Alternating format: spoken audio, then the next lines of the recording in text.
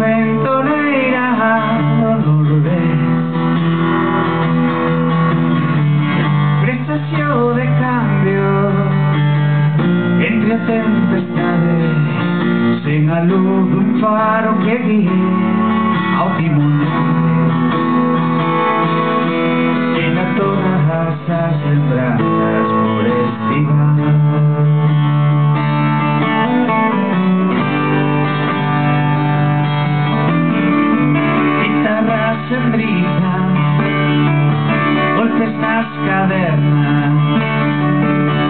Compás conoce no pecado